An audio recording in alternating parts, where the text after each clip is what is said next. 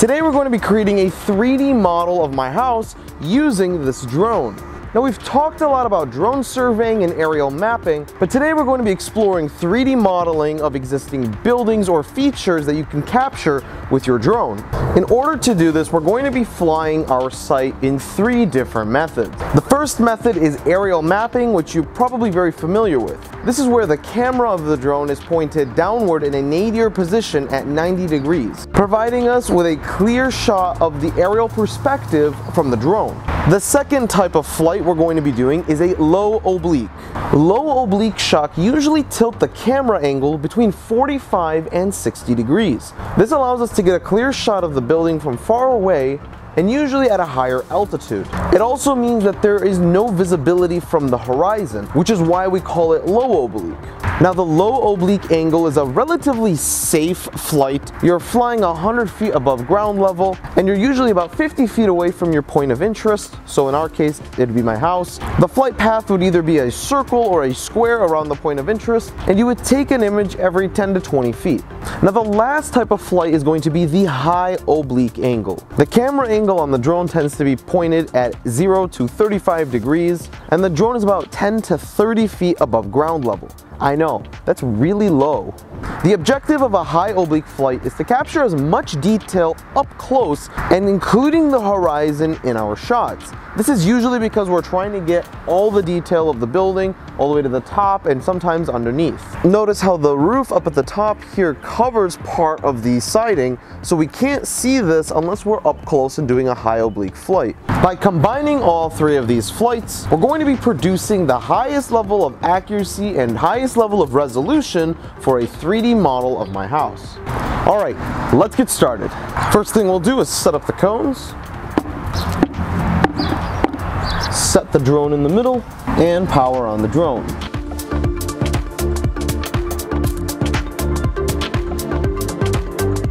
All right, so we've got the flying path for our aerial flight. Here's the house and we're flying just over the house. We're flying at an altitude of 25 meters above ground level at a speed of two meters per second.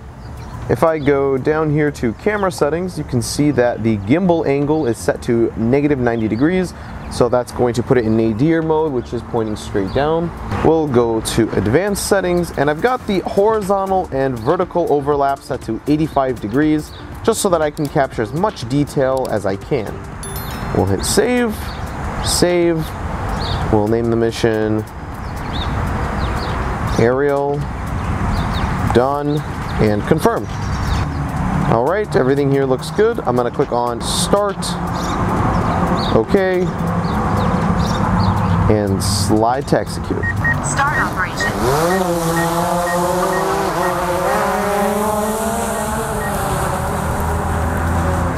And there we go. It's capturing images, pointing straight down at 90 degrees. Very good.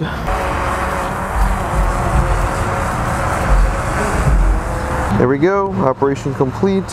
And now it's going to be landing.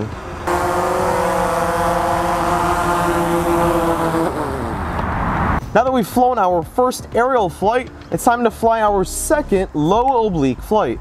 Okay, so I've now set up the locations for all of these shots that I want to take.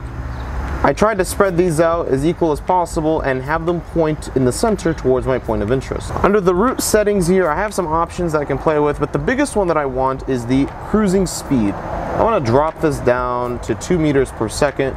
I want this to go nice and slow. There's no need to rush because if we rush, we're going to get blurry images and then data that we can't work with. I'll hit X, save, override the task. All right, and now we can hit start. It's gonna ask me for relative height or absolute height. I'm gonna choose absolute height. And I'm going to slide to execute. Start operation. Home point recorded. So as you can see, the drone is quite far away actually, and it's flying in a circular path around my property. Now it's stopping at every point that I told it to stop at so that I can capture that image with full clarity. From what we can see on the controller, it's at point number four right now. It's captured the image. And if we look at the live view, there we go. It actually isn't as far away as you might think. But this way we're able to get as much detail of the house um, at a high and safe angle. Okay, now we're here at the front of the house. This is at point number eight. Now we are going to point number nine.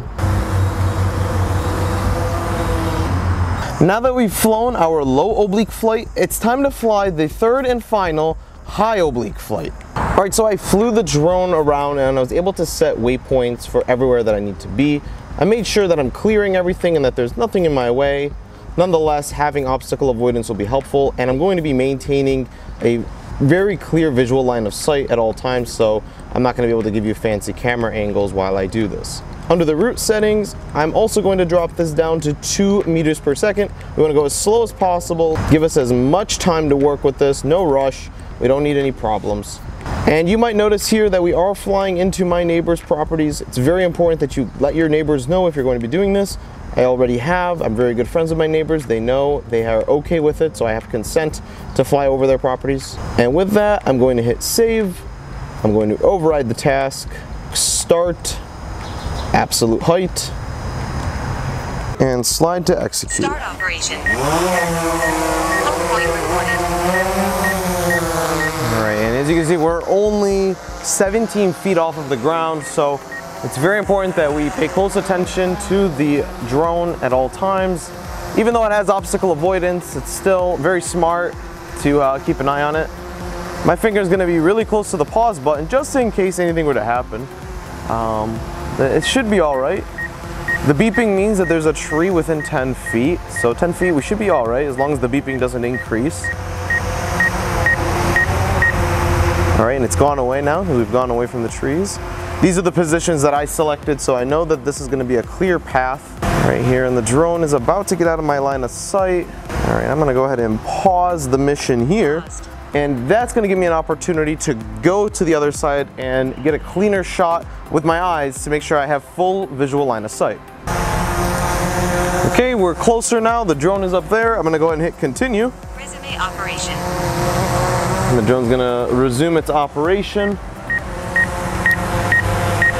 It's looking good.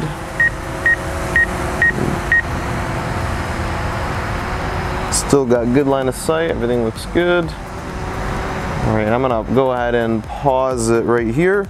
And let's go to the front of the property. Okay, drone's up there. I'm gonna hit continue. Resume operation.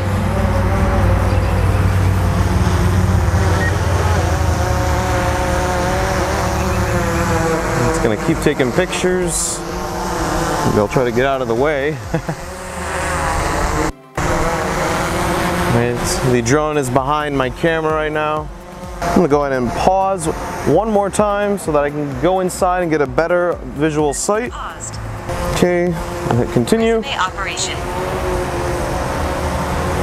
Hmm, the drone is gonna take a few more shots. I think it's got one more position. All right, there we go. I'm gonna go up so we get far away from everything. And uh, I'm gonna bring the drone back home.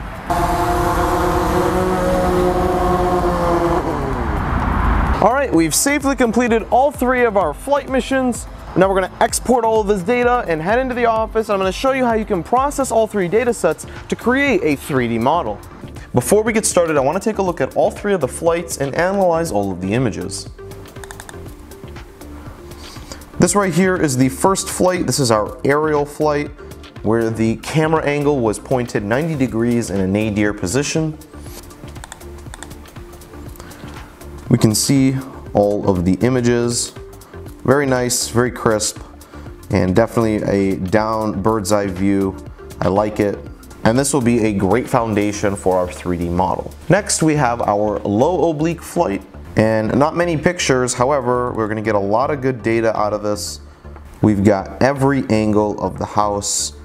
Very good, I like it a lot.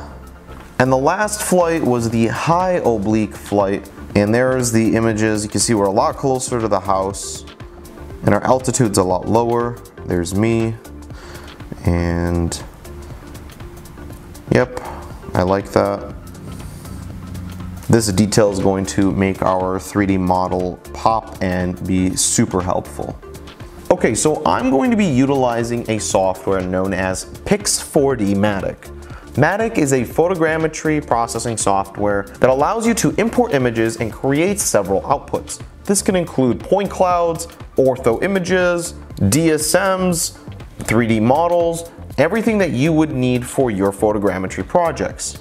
And it's going to be the software that allows us to create a 3D model of my house. Here we have Pix4Dmatic opened, and the first thing I'm going to do is create a project name. I'm just going to call it 3D Model Home. Let's start. And on the right here, it tells us to drag and drop images or folders. Here's the data. I've got all three data sets, and I'm going to select them and drag them into the software. And the software automatically knows where these images are based off of the geotags that were captured with the drone. And this looks good. It looks like we've got a lot of coverage on the house. Very nice. We can also see all of the images over here on the right side. Now, you don't need to set a coordinate system for 3D modeling. A lot of times the client really just wants a relative model in an arbitrary coordinate system. Their main focus is to have accurate measurements between points, not necessarily having absolute accuracy in positioning your project in the world. However, it doesn't hurt to identify the coordinate system, and Pix4Dmatic makes it really easy to output your data in a specific coordinate system. So for me, I might as well output this data into state plane coordinates. To do so, I'm gonna come down to the bottom right and click on this pencil down here. It's gonna ask me what my horizontal coordinate system is. I'm going to say NAD 83, Michigan South. And the first option is the correct option for me. The vertical coordinate system, NAVD 88. There we go. And the geoid, geoid 18. All right, I'll hit apply and the base map will reload. Just wanna make sure that our base map is correct. We will see hopefully the same exact thing again. Okay, there we go. We have the exact same thing. Now, if you had ground control points, um, you could import those coordinates and do georeferencing. I don't have any ground control points because again, I'm not really focused on the mapping. I'm more focused on the modeling for this project. In a future video, I'll show you how you can do georeferencing with Matic, but for now, uh, let's get into the processing. Up at the top right, I'm going to select the processing options button, and I can select a template Right now it's set to nadir, which is probably the most ideal for aerial mapping, but because we're doing modeling work, I'm going to select this and switch it over to oblique. Now aside from the processing template, we also have a calibration template. These are a bunch of preset templates that Pix4D made, and so I'm going to start out by using the modeling template since this is a 3D modeling project. The pipeline basically asks how much you want to trust the geotags that were provided by the images. If you're using a standard GNSS drone, one that doesn't have RTK, I would leave this on standard. If you are using RTK, then you can select and change this over to trusted geolocations and orientation. Image scale, I'm gonna keep this set one to one because I want the full image resolutions to be used.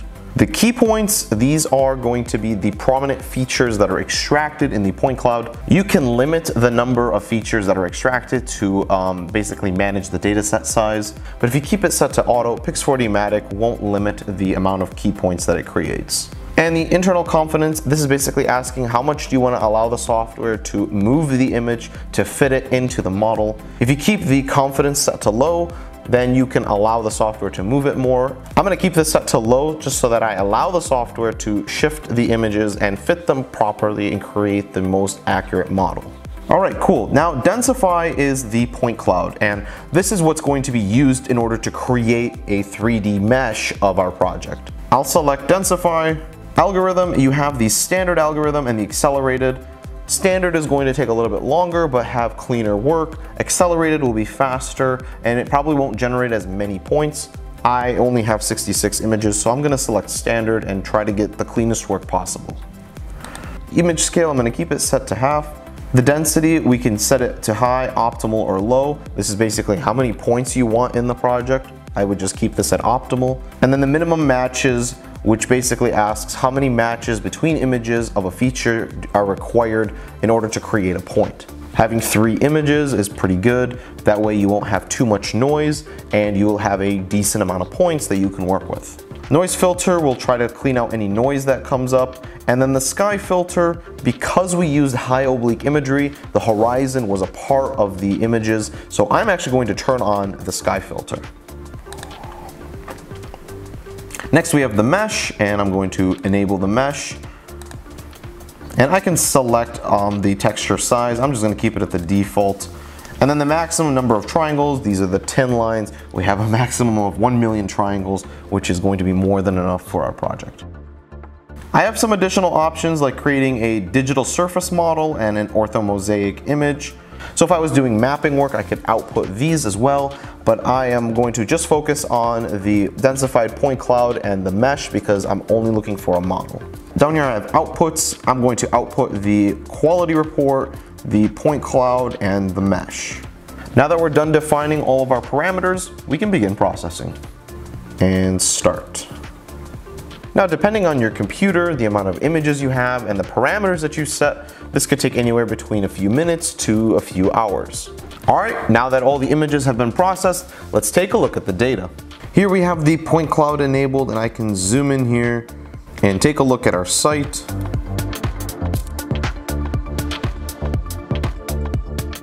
Now some areas like the right side here, there's definitely a lot of missing data and that's just because the drone was just so close to the building. And this is one of the downsides of using a drone to take high oblique imagery. You just don't have that much control over where the drone is and you're very concerned with obstacles so you're forced to compromise the quality of the image for the safety of the drone. Now since back over here we had a lot more room to work with the drone so the back has lots of points and lots of details. The back portion of the house on the right side is fine. However, the right portion of the garage isn't. And again, this is the image that was used. So lots of missing data there. Again, we had to compromise. We couldn't get that close um, and I had to stay back a little bit. Now that being said, there is a way of doing this using your iPhone and capturing data on the ground. Now if you click on this video right here, I'm gonna show you how you can take your drone images and combine them with your iPhone images to create the most accurate 3D model.